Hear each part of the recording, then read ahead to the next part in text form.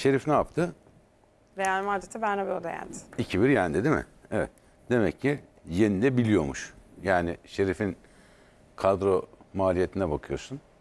Biz mesela çok daha iyi kadrolarımız var. Biz yenemiyoruz. Bir de sürekli şeylerimiz var bizim. İşte futbolcularımız yorgun. Ee, ideal kadromuzdan işte bir kişi yoktu. Ee, zaten yağmur yağıyordu gibi.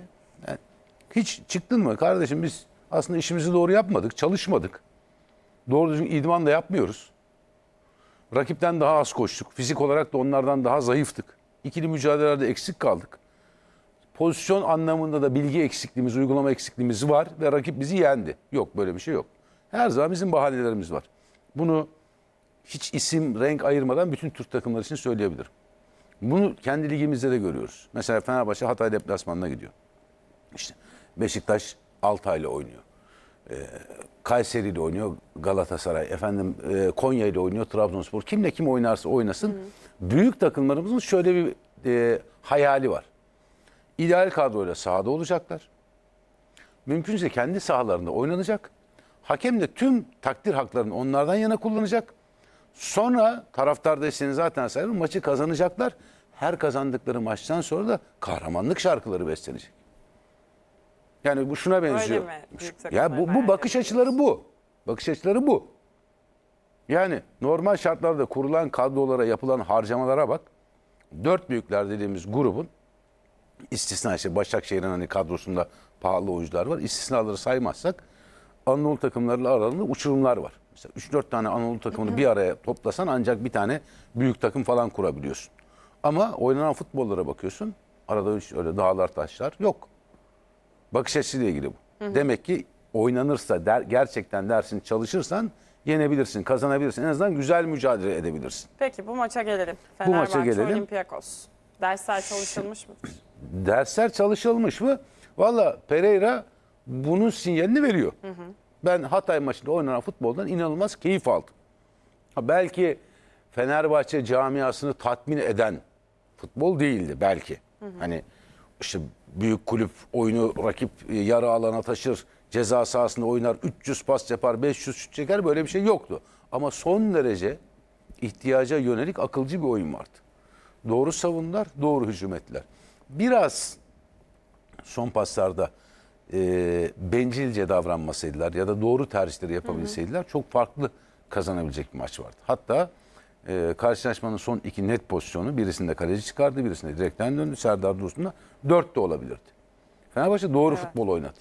Bugün de Olympiakos karşısında ki Olympiakos'un da zengin bir kadrosu var. Ee, en kolay isimler herhalde Tikinho. Mesela onu söyle Evet. çık. Ama o savunmada mesela böyle yaklaşık 3-4 isimlik halbuki tek kelimeden oluşan e, Yunan oyuncuları söylemek zor. Ee, doğru bir oyun şablonu bulmuşlar kendilerince. Onların da Portekizli bir hocası var. Pereira'nın da arkadaşıymış hoca söyledi. Ee, bir kere zor maç olacak. Yani tamamen futbolun dışında bir Türk takımıyla bir Yunan takımının karşı karşıya gelmesinin ekstra motivasyonuyla oynanacak bir mücadele olacak. Bunu herkes kabul ediyor herhalde. Ee, bunun dışında Fenerbahçe'nin her ne kadar Vitor Pereira e, net bir şekilde ifade etmek istemese de Avrupa Ligi ile ilgili bakış açısı Fenerbahçe bu gruptan çıkmak istiyor. Yürüyebildiği Yani. kadar da devam etmek istiyor. Bu kadro yapısına sahipler. Sakatlarına, eksiklerine rağmen bu kadro yapısına sahipler. Kora kor bir maç izleyeceğiz. Fenerbahçe yine kendi doğrularında kalırsa kazanır.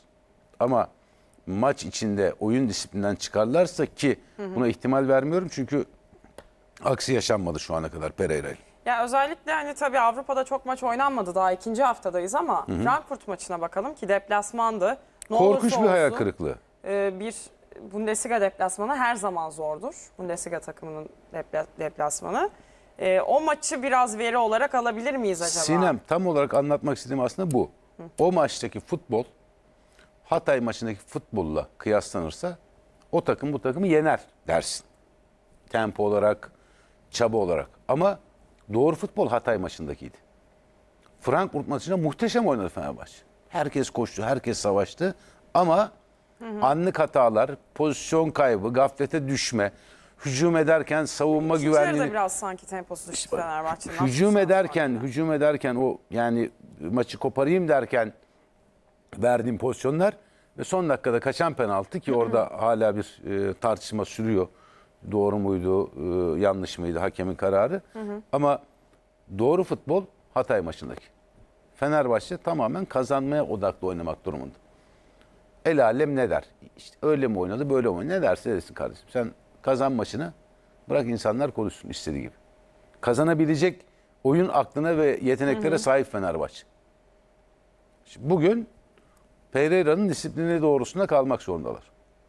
Kadroda işte Novak oynayacak görünüyor. Ee, ama Hatay maçında çok uzun süre oynamayan Novak, daha önceki hocaların verim alamadığı Novak'tan hem de sağda, savunmanın sağında Pereira gayet e, doğru bir geri dönüş aldı ve gol de attı oyuncu. Ki Dolayısıyla aslında Novak'ın en iyi yaptığı iş gol atmak. savunma oyuncu gol atmak. Evet. olmasına Evet. rağmen. Bir muhtemeli de alalım. Bir daha onun üstünden de gidelim seninle tekrardan. E, tabii üçlü savunma sorusu basın toplantısında da soruldu. Hatırlatırız Evet. belki basın toplantısını birazdan. Bunun bu kadar çok konuşulacağını düşünmüyordum dedi aslında Pereira. Aslında çok şey söyledi. Yani e, nasıl olsa dedi herkes benden çok biliyor dedi. Mesela herkes benden de çok biliyor. Mesela hayatında e, üç kere futbol maçı izlemiş insanlar benim futbol bilgimi tartışabiliyorlar. Benden çok bilenler tabii ki var. Ama e, hayatında idman seyretmemiş, hayatında bir e, kamp dönemini yaşamamış, e, toplam maç seyrettiği e, dönem sayısı bir sezonu tekabül etmeyen insanlar konuşabiliyor. Mesela Pereira'nın dün basın toplantısında derdimiz polemik çıkartmak diye. Mesela Altay'a ben bir soru sordum, kıyamet koptu. O zaman hatırlayalım çünkü basın toplantısının e, videosu var. Onu bir getirelim ekrana hatırlayalım sonra yine konuşmaya devam.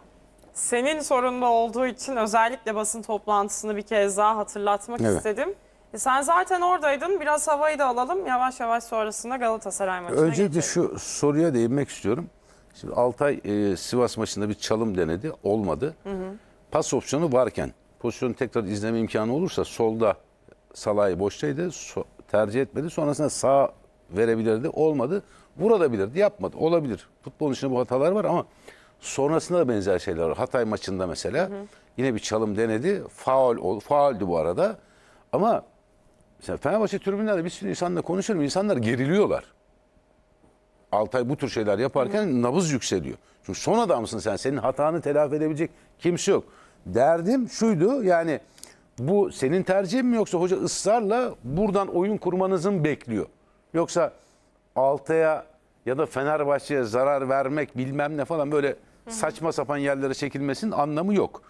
Ee, hata yapılır bundan sonra da olacaktır. Dünya çapında nice oyuncuların anormal hatalarına şahit olduk. Velhasıl e, bugünkü maçta e, kadro konusunda bir iki isim değişebilir. E, Mesut'un durumu maç saatinde netlik kazanacak ama e, Fenerbahçe'nin bugün kendi sahasında Olympiakos karşısında kazanabilecek e, potansiyeli var. Kazanmak için her şeye sahip Fenerbahçe. İnşallah Frankfurt beraberliğini orada o futbolun hakkı olmayan beraberliği unutturacak bir gece yaşarız. Galatasaray maçına geçelim. Galatasaray Marsilya ile karşı karşıya gelecek açılışı Lazio ile yapmıştı. Galibiyetle ayrılmıştı. Ancak sonrasında ligde oynanan maçlarda böyle bir e, duraklama ve puan kayıplarıyla geçen bir sürenin ardından bu hafta Göztepe'yi 1-0'dan e, 2-1 mağlup etti. Şimdi Marsilya deplasmanına gidiyor. Genel bir maç yorumuyla başlayalım. Bir kere kolay maç olmayacak. Marsilya yanılmıyorsam ilk mağlubiyetini bu hafta aldı. Ee, ama onların da çok yüksek tempolu oynadığını düşünmüyorum. Ee, yani Cengiz'le Payet maç içinde yakaladığı çıkışlar var. Ee, onun üzerinden dönüyormuş gibi geliyor hücum organizasyonları. Ee, Galatasaray için zor bir maç. Deplasmandalar. Ee, gerçekten dibe vurmuş bir Galatasaray var. Dibe vurmuş bir Fatih Terim var. Ama Avrupa maçlarının e, yapısı bambaşka oluyor. Neden söylüyorsun bunu? Dibe vurmuş yorumunu yapıyorsun. Açalım diye söylüyorum. Vallahi ben haftalardır bunu söylüyorum. Hatta geçen sezondan beri bunu söylüyorum. Hatta Fatih Hoca için el terimi ifadesini kullanıyorum. Çünkü takım iyi oynarken yaptığı müdahalelerle takımı geriye çekiyormuş gibi geliyor. Geliyor değil, e, skorlara ve oyuna yansıyan durum bu. Çünkü normal şartlarda ben teknik direktörün hiçbir hocanın sahaya sürdüğü 11'i tartışmam. Çünkü idman performanslarının, oyuncuların son durumunu o biliyordur. Doğru karar onundur. Saygı duyuyorum ama oyun içinde yaptığı değişiklikler gidişata nasıl yansıyor onun üzerinden yorum yapma hakkını kendimde buluyorum. Ve Galatasaray sahaya bir 11 ile çıkıyor. İyi bir şeyler yapıyor. Skoru buluyor. Ama 2-0'dan Galatasaray gibi takımın 2-2'ye maçı vermesi maç. bir değil iki değil. Ondan sonra da e, yani takımın hani dişlilerde böyle bir sürtünme var ya eksik değil. Yanlış dişliler var takımda. Bir de ezber değişiklikler gibi geliyor. Sanki her dakika işte Emre çıkacak, Babel girecek gibi bir kurala dönmüş durumda. Sanki değişikliklerin bile dakikası var. Bir şey yanlışsa müdahale edersiniz. Yani yaptı, yaptığınız oyuncu değişikliğinden ben şunu beklerim. Ya en güzeli şudur. Takım daha güçlü savunma yapar, daha güçlü hücum yapar.